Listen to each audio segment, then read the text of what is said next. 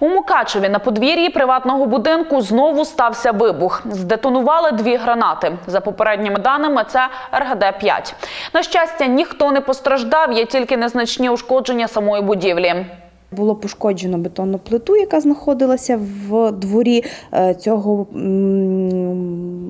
будинку, цього помешкання, Е, і трошечки пошкоджений фасад. За даним фактом розпочато кримінальне провадження за е, частиною 2 статті 194, яка означає умисне пошкодження майна за допомогою вибуху. За скоєне зловмисникам загрожує позбавлення волі від 3 до 15 років. Поліція розглядає усі ймовірні версії вибуху, у тому числі зв'язок із попереднім, який стався 9 травня. Тоді так само у дворі приватного підприємця вибухнули дві гранати працювати.